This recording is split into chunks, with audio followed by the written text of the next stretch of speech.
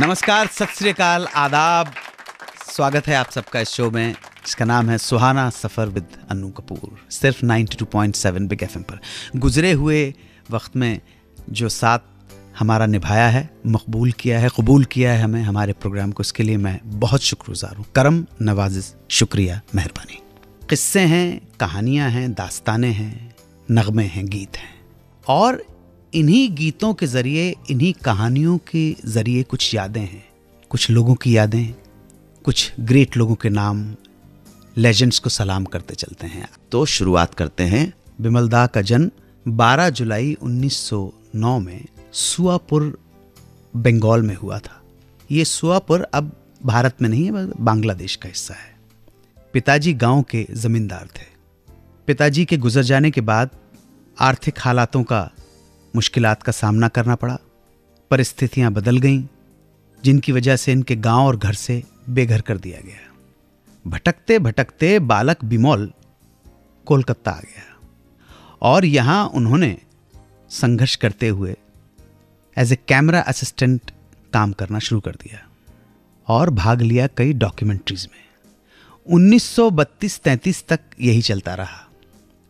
फ़िल्मों से उनका रिश्ता तब जुड़ा जब बंगाल के मशहूर डायरेक्टर पीसी बरुआ ने विमलदा को पब्लिसिटी फोटोग्राफर के तौर पर साइन कर लिया, जिनकी बनाई देवदास धूम मचा रही थी। कुछ ही समय बाद बिमल रॉय उस वक्त के सबसे बड़े स्टार कैमरामैन नितिन बोस के असिस्टेंट बन गए। यहीं से उन्हें लाइटिंग और ब्लॉकिंग फ्रेमिंग की समझ होने लगी। जल्दी ही बिमल दा एक इंडिपेंडेंट सक्सेसफुल कैमरामैन भी बन गए। और डायरेक्टर बनने से पहले उन्होंने एज ए सिनेमाटोग्राफर दस फ़िल्में की। फिर मिली उन्हें पहली बंगला फ़िल्म, उदयर पाथे। ये साल था 1944 1945 में दूसरी वर्ल्ड वॉर के बाद कोलकाता का न्यू थिएटर बंद हो गया। तो बिमल रॉय भी कोलकाता से मुंबई शिफ्ट हो गए। यहाँ वो बॉम्बे टॉकीज से जुड़े और उन्होंने अपनी पहली फ़िल्म डायरेक्ट की, जिसका नाम था माँ। माँ सक्सेसफुल नहीं रही। दादा ने बॉम्बे टाकीज छोड़ इंडिपेंडेंट फ़िल्म प्रोडक्शन कंपनी की स्थापना की और नाम रखा गया बिमल रॉय प्रोडक्शन। और यहीं उन्होंने निर्माण आरंभ किया फ़िल्म दो बीघा ज़मीन का। दो बीघा ज़मीन लेजेंडरी डायरेक्टर विक्टोरिया दिसिका की फ़िल्म बाइसिकल थीफ से इंस्पायर्ड थी। फ़िल्म को दर्शकों ने खूब सराहा, खूब पसंद किया और यहीं से शुरू हुई एक लेजेंडरी डायरेक्टर बिमल रॉय की कहानी। ये कहानी मामूली कहानी नहीं थी, ये कहानी थी सफलता की कहानी। दो बीघा ज़मीन से दादा ने हिंदी फ़िल्मों में इंट्रोड्यूस किया म्यूज़िक डायरेक्टर सलिल चौधरी को। आप जानते हैं, दो बीघा ज़मीन की कहानी किसने लिखी थी? ये कहानी भी लिखी थी शौलिल चौधरी ने। इससे पहले ये फ़िल्म रिक्शा वाला के नाम से बंगाली में बन चुकी थी। जब बिमल रॉय ने इसे हिंदी में बनाने का मन बनाया तो उन्होंने सलिल चौधरी को एक टेलीग्राम भेजा। ये टेलीग्राम उन्हें उस वक्त मिला जब उनकी शादी हो रही थी, जिसमें लिखा था, mister Bimal Roy wants to meet you. अपनी कहानी पे बनाए सलदा के गीतों ने इस सामाजिक फ़िल्म को और भी मार्मिक बना दिया। आशा जी हमारे साथ फ़ोन पर हैं। आशा जी नमस्कार मैं अन्नू कपूर बोल रहा हूँ। नमस्कार कैसे हैं आप? बस आपकी कृपा है आप कैसी हैं? बस फ़र्स्ट क्लास। तो कहाँ पैदा हुई थी आप आशा मैं बम्बई में पैदा हुई थी। एक्चुअली किसी को पता नहीं है लेकिन my mother was a freedom fighter वाह वाह। तो क्या शुभ नाम था? आशा जी क्या नाम था मम्मी का? उनका नाम सुधा था सुधा पारेख। जी और पिताजी का शुभ नाम? बच्चू भाई पारेख। अच्छा अच्छा जी। तो ये हुआ कि माय मदर फ्रीडम फाइटर और 1942 की फ्रीडम मूवमेंट चल रही थी। जी। तो वो लीड कर रही थी procession and my uncle saw मेरे चाचा ने उनको देखा कि ये फुल्ली प्रेग्नेंट है और ये क्या कर रही है? तो he came running to tailor कि भाई आपके ससुर जी बुला रहे हैं। हम्म। तो she had to come out of the Morcha. And luckily नहीं तो मैं शायद जेल में ही पैदा हुई होती। तो मम्मी ने एनकरेज किया डांस के लिए? ये हमने मम्मी ने देखा कि मुझे डांस का बहुत शौक था। म्यूज़िक बजता था और मैं डांस करती थी। जी। तो प्रेमनाथ जी ने मुझे देखा डांस करते हुए उनके चार्टेड अकाउंटेंट के घर पे। जी। तो उन्होंने कहा कि ये लड़की तो बहुत अच्छा डांस करती तो वो अपना इनको बीना राय जी को ले आए मधुबाला जी को ले आए कि हम्म। देखो इस लड़की को डांस करते हुए। हम्म, जी। तो हमारे स्कूल का फ़ंक्शन था तो मम्मी ने कहा कि प्रेमनाथ जी से कि आप आइए एज अ चीफ गेस्ट जी। तो उन्होंने कहा कि मैं एक ही शर्त पे आऊँगी आऊँगा अगर आशा डांस करेगी तो। अब मुझे डांस तो कुछ आता नहीं था। जी। तो फिर मम्मी बेचारी घबराई बोली अब क्या करूँ? तो बोले हाँ हाँ ये डांस करेगी। तो मुझे लेट मोहनलाल पांडे के पास ले गई और कहा कि भैया एक आइटम इसका फिक्स कर दो वो कथक सिखाते थे। जी। तो उन्होंने कहा कि इसको दस पाँच दस दिन थे तो कहा कि इसको जल्दी से एक आइटम फिक्स कर दो ताकि ये स्टेज पे डांस कर सके। और इस तरह से मेरा डांस का करियर शुरू हुआ। तो आपने स्टेज पे परफॉर्मेंस प्रोफेशनली भी करना शुरू कर दिया था? हाँ बहुत शोज़ किए बहुत शोज़ किए। मैं फ़िल्म स्टार बनने के बाद भी मैंने स्टेज शोज़ चालू रखे थे। मैंने तीन चार बड़े बड़े बैलेस बनाए हैं। गुरुदत्त ने बाजी डायरेक्ट की, बाजी बनी, बाजी हिट हुई। और बाजी की सफलता के बाद गुरुदत्त ने भी अपने प्रोडक्शन हाउस की स्थापना कर ली। बाजी की खूबी यह थी कि बाजी एक थ्रिलर फ़िल्म थी जिसकी अपनी कहानी थी और जो किसी हॉलीवुड फ़िल्म से इंस्पायर नहीं थी। ओरिजिनल प्लॉट इस फ़िल्म ने हिंदी फ़िल्मों में ऐसी फ़िल्मों के चलन को बढ़ावा दिया। इसके बाद गुरुदत्त ने बाज और जाल फ़िल्में भी बनाई, पर इन फ़िल्मों को वो सफलता नहीं मिली। इसी दौरान एक गीत की रिकॉर्डिंग के सिलसिले में उनकी मुलाकात हुई गीता रॉय से, जिनका शुमार उस वक्त भारत की बड़ी सिंगर्स के तौर पर किया जाता था। गुरुदत्त ने आर पार के सब्जेक्ट पर काम करना शुरू किया। इस फ़िल्म में श्यामा पे फिल्माए तकरीबन सभी गीत गीता रॉय ने गाए थे। और यहीं से गुरुदत्त के जीवन में गीता रॉय की नई प्रीत का उन्वान शुरू हुआ। इन दोनों का प्यार परवान चढ़ने लगा और जल्दी ही इन दोनों ने शादी करने का फैसला कर लिया। उन्हीं दिनों गुरुदत्त को एक बहुत ही हल्की और छिछोरी बात बार बार सुनने को मिल रही थी, वो ये कि गुरुदत्त गीता रॉय से सिर्फ़ इसलिए शादी कर रहे हैं ताकि उनको फाइनेंशियल सिक्योरिटी मिल सके, क्योंकि इस वक्त तक फ़िल्म इंडस्ट्री में गीता राय का मुकाम गुरुदत्त से बहुत ऊँचा था। स्वाभिमानी गुरुदत्त को यह बात बहुत नागवार गुजरी और उन्होंने गीता रॉय से कहा कि वो गाना छोड़ दें। गीता उनकी मना स्थिति समझ गई थी और उन्होंने भी कुछ समय के लिए अपना संगीत, अपना गीत कुर्बान कर दिया अपने प्रेमी के लिए। शादी हुई। गुरुदत्त की आर पार भी बहुत बड़ी हिट रही और धीरे धीरे सब ठीक हो गया। गीता रॉय बन गई गीता दत्त और उन्होंने गुरुदत्त के कहने पर वापस गाना भी शुरू कर दिया। जानते हैं दोस्तों, गुरुदत्त की आखिरी फ़िल्म तक गीता दत्त ही उनकी फ़िल्मों की लीड सिंगर रही।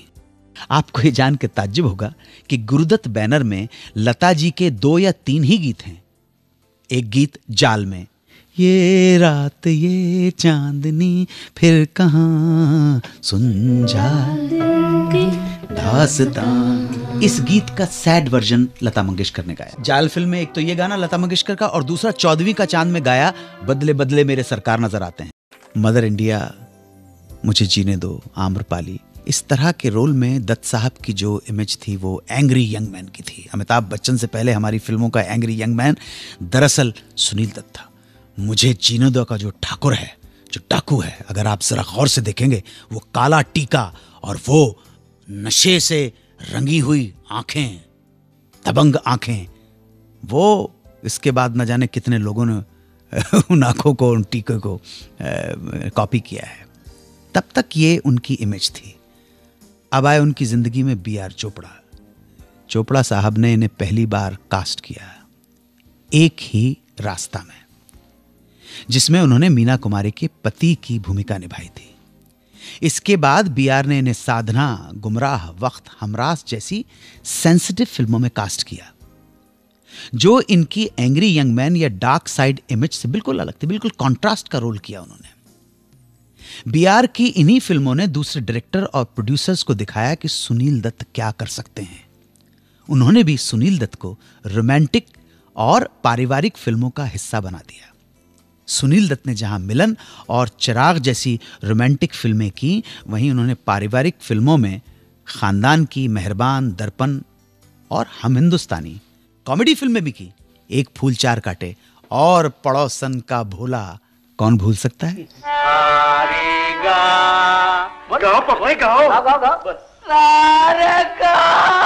बोले नीचे से रे नीचे से। है? देख। बोल बोल। बोला नीचे से नीचे से। बोला नीचे से। मैंने कहा था कि मैं बताऊँगा जो रफ़ी साहब के ज़माने में ही रफ़ी साहब का एक कंटेम्प्रेरी सिंगर रफ़ी साहब को अपना गुरु मानते थे। Any idea any guess Mahendra Kapoor बिल्कुल सही बात है महेंद्र जी। देखिए महेंद्र जी को भी मैं ग्रेट आदमी मानता हूँ। कहानी ये है कि जब वो छोटे थे तो एक लड़का अपनी क्लास में अपनी कॉपी पे मोहम्मद रफ़ी लिखता हुआ पकड़ा गया। हाँ जी गुरु जी ने टीचर जी ने पिटाई कर दी। पर जब इस लड़के के दोस्त ने इस लड़के की रफ़ी साहब के लिए दीवानगी देखी तो वो किसी ना किसी तरह अरेंज करके इस लड़के को रफ़ी साहब के घर ले गया। रफ़ी साहब इस लड़के से मिले और लड़के की काफ़ी रिक्वेस्ट के बाद रफ़ी साहब ने इस लड़के को अपना शागिर्द बना लिया। और उसे गाने के साथ साथ हारमोनियम बजाना भी सिखाया। इस लड़के को अपने साथ स्टूडियो ले जाते हैं। हर चीज़ की तालीम दी।